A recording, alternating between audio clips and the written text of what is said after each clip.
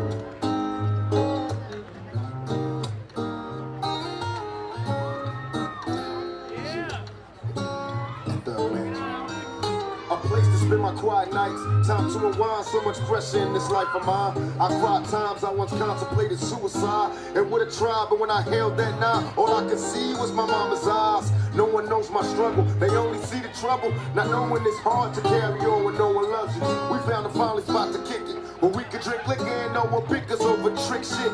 A spot where we can smoke in peace. And even though we cheese, we still visualize places that we could roll in peace. And in my mind's eye, I see this place the players. It got a spot for us all so we can ball at Thugs Man. Every corner, every city, there's a place where life's a little busy. Little Hennessy, lay back and cool every hour, cause it's all good. Leave all the stress from the world outside.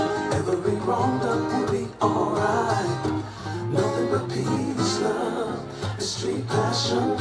Every ghetto needs a thug mansion.